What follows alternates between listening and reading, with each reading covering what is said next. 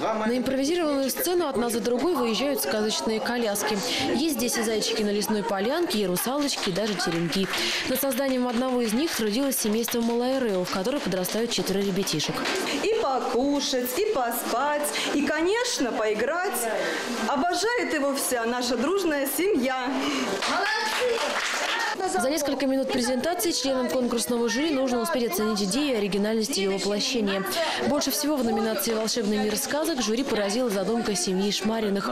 Маме Евгении и папе Илье пришлось немало потрудиться, чтобы превратить коляску в настоящую морскую раковину с русалкой. Еще одна победительница, но уже в номинации «Остров фантазий» Ольга Славицкая с дочкой Софьей. Они представили корзинку с ягодами из поролона и цветных красок.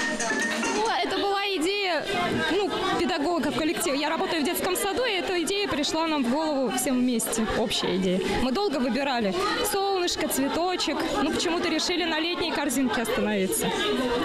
Когда начали делать, э, вы сразу поняли, что удается идея? Конечно.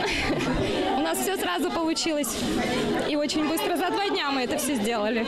Самой изобретательной задумкой в номинации «Учусь быть мамой», где юные участницы сами дефилировали с игрушечными колясками и куклами, стал образ красной шапочки. Над его созданием, пока муж был на работе, Гузель Самиева трудилась всю ночь перед конкурсом вместе с тем пекла угощения для гостей. Хочется участвовать, хочется, э, чтобы видели, что мы создаем такую красоту и Ничего тяжелого в этом нет, да? ничего тяжелого в этом нет. Хоть и муж был на работе сегодня, ночью. Как вам все удалось сделать одной за ночь? Вы же еще и испекли э, булочки. А, ну, это ничего сложного, в принципе, просто нужно желание, а уже возможности найдутся. Просто она у меня умница. Да. А вот лучшей в этой же номинации признали семью Рожковых. Их маленькая дочь Соня о своей любимой куколке рассказала в стихах. Пойдем Пусть люди улыбаются и говорят любим. Эта коляска просто заглядя, посмотришь на нее, поднимешь настроение.